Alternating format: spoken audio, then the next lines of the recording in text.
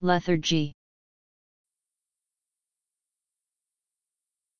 Pathology, a condition characterized by extreme fatigue or drowsiness, or prolonged sleep patterns. From 14th c. A state of extreme torpor or apathy, especially with lack of emotion or interest, loosely, sluggishness, laziness. From 14th c. L. E. T. H. A. R. G. Y. Lethargy.